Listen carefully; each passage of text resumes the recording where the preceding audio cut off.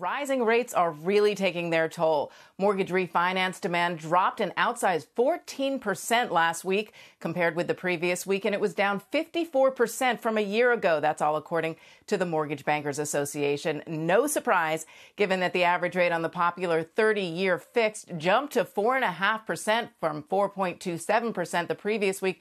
That's for loans with 20% down.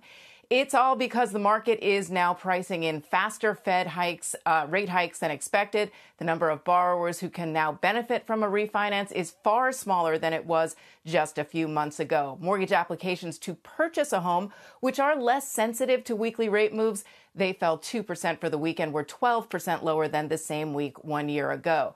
Economists are starting to revise their home sales forecast lower for the year due to rising rates. The housing market is already expensive as a supply demand imbalance puts upward pressure on prices.